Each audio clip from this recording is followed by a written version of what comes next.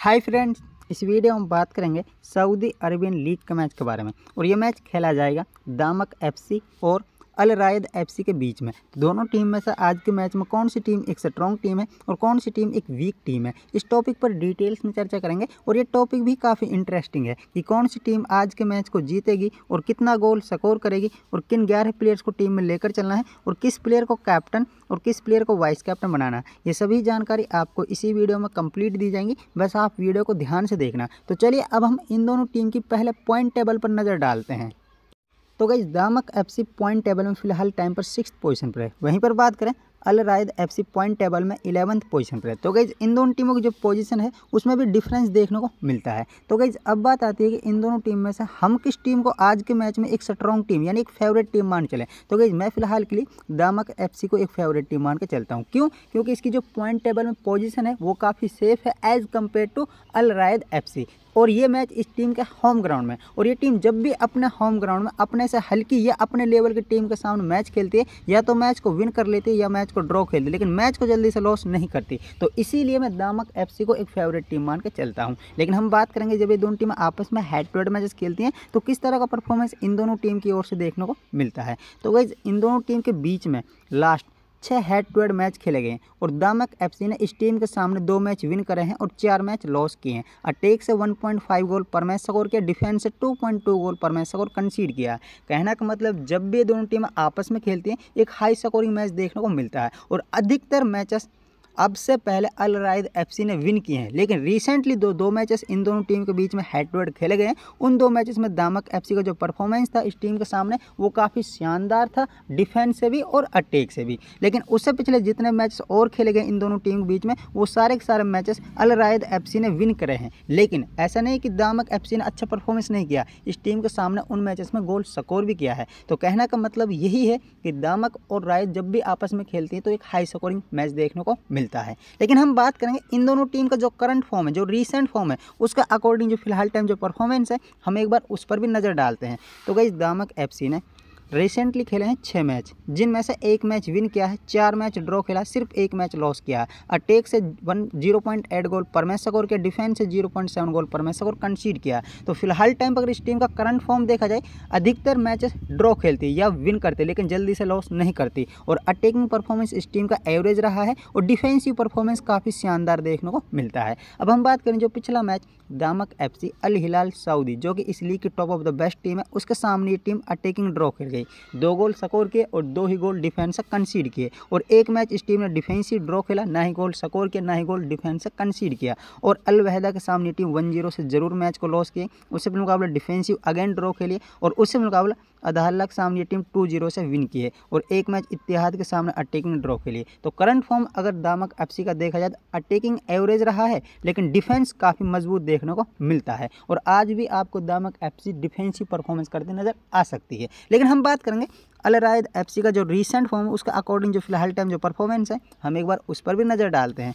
तो गई Raed FC currently छः मैच खेली है, एक मैच विन किया है, पाँच मैच लॉस करे हैं। एक अटैक से ज़ीरो पॉइंट एट डिफेंस से टू गोल पर मैच और कंसीड तो फ़िलहाल टाइम पर इस टीम का परफॉर्मेंस काफ़ी गंदा है। अटैक से भी और डिफेंस से भी, और ना ही मैच को विन कर पाती है। अब हम बात करें जो पिछला मैच अल रायद एफ़ सी अल के सामने थ्री टू से मैच को लॉस कर गई। लेकिन दो गोल इस टीम ने स्कोर किए, लेकिन डिफेंस से तीन गोल कंसीड किए। बातिन के सामने ये टीम टू वन से ज़रूर विन की है। उस मैच में दो गोल स्कोर किए, लेकिन डिफेंस से एक गोल कंसीड भी किया। और उससे पिछले चार मैच इस टीम ने खेले, चारों मैच वन साइड लॉस किए। चार मैच में इस टीम ने सिर्फ़ एक ही गोल स्कोर किया, वरना हर मैच में गोल कंसीड किया और अटैक से एक भी गोल स्कोर नहीं किया। तो यहाँ से पता चलता है कि अल रायद एफ़ का अटैकिंग परफॉर्मेंस और डिफेंसिव परफॉर्मेंस काफ़ी गंदा देखने को मिलता है। तो फाइनल गाइज़ अब बात आती है कि अब इस मैच का स्कोर लाइन प्रडिक्शन क्या होनी चाहिए। तो गई सबसे पहले हमने इन दोनों टीम की पॉइंट टेबल पर नज़र डाली, फिर हमने इन दोनों टीम के हेड टू हेड मैच पर नज़र डाली, फिर हमने इन दोनों टीम के करंट फॉर्म पर भी नज़र डाली। अगर हम इन तीनों फॉर्मेट को एक साथ कंपेयर कर लें कि कौन सी टीम का बेहतर परफॉर्मेंस रहा इन तीनों फॉर्मेट में तो गई पॉइंट टेबल के अकॉर्डिंग फ़िलहाल के टाइम पर दामक एफ़ की पोजीशन काफ़ी सेफ़ है और अलराइद एफ़ की पोजीशन काफ़ी डाउन है। हेड टू हेड में रिसेंटली दो मैच दामक एफसी ने विन किए इस टीम के सामने और जब भी इस टीम के सामने खेले, अधिकतर मैचेस में गोल स्कोर भी किया है। लेकिन ओवरऑल अगर देखा जाए तो अल रायद एफ़ का परफॉर्मेंस हेड टू हेड में बेहतर रहा है। लेकिन करंट फॉर्म का अकॉर्डिंग देखा जाए, दामक एफसी का अटैकिंग परफॉर्मेंस तो एवरेज लेकिन डिफेंस काफ़ी मज़बूत है। और अल रायद एफ़ का परफॉर्मेंस अटैक भी डाउन है और डिफेंस भी आपको गंदा देखने को मिलेगा। तो तीनों फॉर्मेट में आपको दामक एफसी ही एक स्ट्रॉन्ग टीम देखने को मिलेगी। तो इसीलिए मैं दामक एफसी को एक फेवरेट टीम मान के चलता हूँ। तो फाइनल गाइज़ अब बात आती है कि अब इस मैच में कितना गोल होने चाहिए और इस मैच का स्कोर लाइन प्रेडिक्शन क्या होना चाहिए और कौन सी टीम विन करनी चाहिए। तो मेरे अकॉर्डिंग इस मैच में आपको एक लो स्कोरिंग मैच देखने को मिलेगा और एक ही गोल कर, एक ही गोल आएगा। मुझे लग रहा है कि एक ही गोल आएगा और शायद इस मैच में रायत गोल ना कर पाए। मैंने अपने इस मैच के स्कोर लाइन प्रडिक्शन रखा है वन ज़ीरो और वन ज़ीरो का प्रडिक्शन के अनुसार ही हम अपनी ड्रीम इलेवन टीम क्रिएट करेंगे ड्रीम इलेवन पर। उससे पहले हम बात करेंगे इन दोनों टीम के प्लेयर्स के बारे में कि कौन इस प्लेयर ने कितना गोल और कितना असिस्ट किए। क्योंकि अभी तक हमने इस वीडियो में बात की है कि इस मैच को कौन सी टीम विन करेगी और कितना गोल स्कोर करेगी। लेकिन आज के मैच में कौन कौन से इंपॉर्टेंट प्लेयर रहेंगे जो हमारी टीम में होने चाहिए। उनके बारे में आपको डिटेल्स में इन्फॉर्मेशन दूँगा। आप वीडियो को कंप्लीट देखना। और हाँ दोस्त, अगर आप चैनल पर नए होने तो चैनल को सब्सक्राइब ज़रूर करना, क्योंकि इसी प्रकार की वीडियो इन्फॉर्मेशन फुटबॉल में आपको इस यूट्यूब चैनल पर कंटिन्यू मिलती रहेगी। तो चैनल को सब्सक्राइब करके ज़रूर रखें। बात करते हैं इस मुद्दे के प्लेयर वाइज की, कौन से प्लेयर ने कितने गोल और कितने असिस्ट किए तो नज़र डालते हैं सबसे पहले हम दामक एफसी के प्लेयर्स पर, फिर हम नज़र डालते हैं अल राय एफ़ के प्लेयर्स पर कि कौन से प्लेयर ने कितना गोल और कितना असिस्ट किए तो नज़र डालते हैं दामक के प्लेयर्स पर। तो गई दामक एफसी की तरफ़ फ़िलहाल के टाइम पर हिलेल शौदानी जो कि प्रीवियस सीज़न भी इस टीम की तरफ़ से टॉप क्लास प्लेयर था और इस सीज़न भी इसने तीन गोल स्कोर किए तो हमारी टीम में आज के मैच में ये होना चाहिए। फिर यहाँ से डॉट डिसलवा है, जिसने इस टीम के लिए तीन गोल स्कोर किए तो हम इन प्लेयर्स को भी लेकर चलेंगे। फिर यहाँ से एंटोलिक है, जिसने एक गोल, दो गोल स्कोर किया लेकिन एक गोल पेनल्टी में किया। तो इस टीम की तरफ़ से पेनल्टी कर में और आप इन्हें ग्रैंड लीग टीम में ज़रूर कैप्टन, वाइस कैप्टन बना देना। ओके? फिर यहाँ से नौ नौ, जिसने एक गोल स्कोर के बाकी जितना और प्लेयर्स हैं, उन सभी ने एक एक गोल किया है, आप इनका स्क्रीन ले सकते हो, ओके? अब हम बात करते हैं इस टीम तरफ़ से कौन से प्लेयर जिन्होंने असिस्ट प्रोवाइड किए और ड्रीम इलेवन पर एक असिस्ट का बीस पॉइंट मिलते हैं। तो चलिए नज़र डालते हैं। तो असिस्ट मामले में अगर देखा जाए तो अहमद जैन है, जिसने इस टीम के लिए तीन असिस्ट निकाले हैं।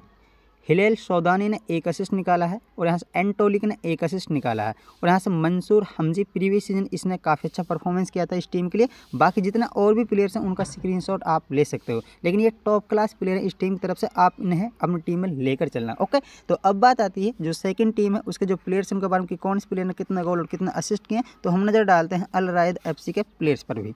तो गाइज़ अलराइद एफसी की तरफ़ से हाईएस्ट गोल टेकर करीम अल बैर कॉय इस टीम की तरफ़ से प्रीवियस सीज़न भी टॉप क्लास प्लेयर था, इस सीज़न भी इसने तीन गोल स्कोर किए तो ये प्लेयर्स भी आपकी टीम में होना चाहिए। फिर यहाँ से मिट रिटा है, जिसने इस टीम के लिए तीन गोल स्कोर किए। आई थिंक ये भी एक इंपॉर्टेंट प्लेयर है जो कि डिफेंसिव वर्क अच्छा खासा कर लेता है तो इनको लेकर चलेंगे। जूलियो टवारेस अगर खेलेगा तो एज ए सेंटर फॉरवर्ड तो हम इनको टीम में पिक करेंगे, वरना ड्रॉप करेंगे।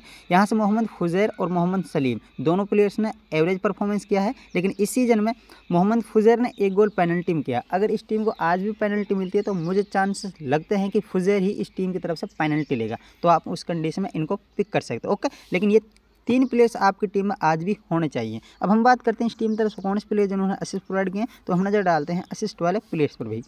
तो असिस्ट में देखा जाए तो करीम का ही दो असिस्ट आए हैं, मोहम्मद फुजैर का एक असिस्ट आया, सलीम का एक असिस्ट आया, दोशारी का एक असिस्ट है, बाकी का सभी का एक एक असिस्ट है स्क्रीनशॉट ले लेना। तो ये प्लेयर्स आपको बार बार देखने मिलेंगे और इन्हीं प्लेयर्स को आप अपनी टीम में लेकर चलना ओके तो अब बात आती है इस मैच का स्कोर लाइन प्रडिक्शन काफ़ी लो स्कोरिंग रखा है। अब आप सोच रहे हो यार, इस मैच में एक ही गोल आएगा क्या? हाँ करंट फॉर्म को देखते हुए हमने इस मैच का प्रडिक्शन वन ज़ीरो रखा है और वन ज़ीरो का प्रडिक्शन का अनुसार ही हम अपनी टीम बनाएँगे ड्रीम इलेवन पर और इसी प्रडिक्शन के अनुसार कौन कौन से इंपॉर्टेंट प्लेयर हमारी टीम में होने चाहिए, उन पर हम आपके लिए फोकस कराते हैं ओके तो चलिए टीम पर नज़र डालते हैं। दोस्त चैनल पर नए होने तो चैनल को सब्सक्राइब करके ज़रूर रखना।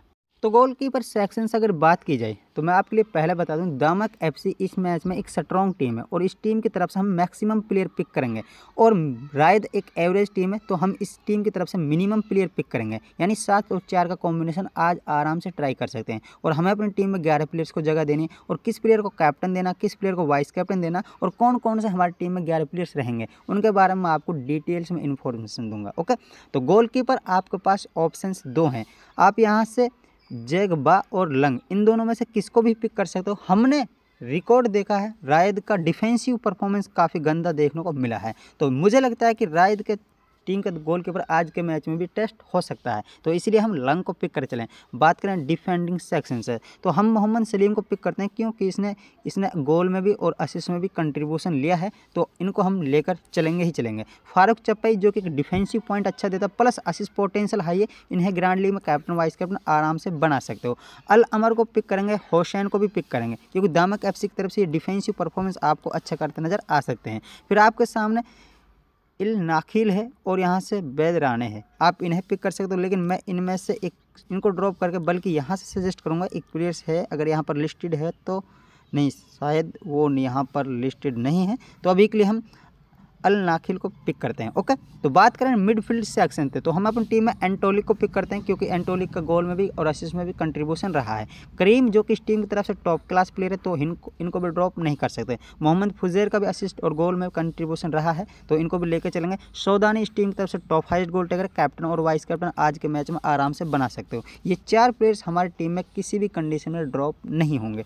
अब यहाँ से जो ऑप्शन बचते हैं, इनको लाइनअप के बाद देखा जाएगा, वरना चांसेस तो बहुत ही कम है, इन प्लेयर्स के खेलने के। अगर कोई भी प्लेयर्स खेलता है तो पोजीशन के अनुसार और लाइनअप के हिसाब से अपनी टीम में पिक करेंगे, बल्कि सबको ड्रॉप करेंगे। बात करें यहाँ सेंटर फॉरवर्ड सेक्शन से तो आपके सामने डॉट है और यहाँ से मित रिटा और आपको घमेदी जो कि प्रीवियसन घमेदी का परफॉर्मेंस अच्छा था, इस सीज़न नहीं है। मंसूर हमजी भी अच्छा प्लेयर है, लेकिन इन दोनों को लाइनअप के बाद देखा जाएगा किसको पिक करना है। जूलियन टवारेस एक काबिल तारीफ़ प्लेयर है और मुझे काफ़ी पसंद है, लेकिन वही बात है, खेलेगा, नहीं खेलेगा। बाकी जो ऑप्शन बचते हैं, इनमें से मैं किसी को भी ट्राई करके नहीं चला हूँ अभी के लिए। और मैं अपनी टीम में अभी के लिए डोरटे को पिक करके चलता हूँ ओके कैप्टनसी की अगर बात की जाए तो मैं अपनी टीम में जो कैप्टनसी दूँगा, वो रहेगा मेरी टीम में सौदानी। और वाइस कैप्टन से अगर बात की जाए तो आई थिंक मुझे अपनी टीम में डिफेंडिंग सेक्शन में फारूक चापेई को अपनी टीम में एज ए वाइस कैप्टन रखना चाहिए। तो टीम का प्रीव्यू दोस्त ये रहेगा, लेकिन याद रहे, ये वीडियो का आधार है। फाइनल टीम बिल्कुल नहीं है। फाइनल टीम लाइनअप आने के बाद तो लाइनअप आने के बाद टेलीग्राम चैनल पर अपडेट कर दी जाएगी। टेलीग्राम चैनल का लिंक है इसी वीडियो का टॉप के कमेंट और इसी वीडियो को डिस्क्रिप्शन में आप वहाँ से हमारे टेलीग्राम चैनल को ज्वाइन कर सकते हो।